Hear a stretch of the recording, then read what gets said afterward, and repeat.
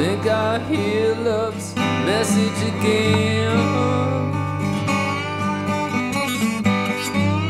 Subtle and soft, I hear it on the wind.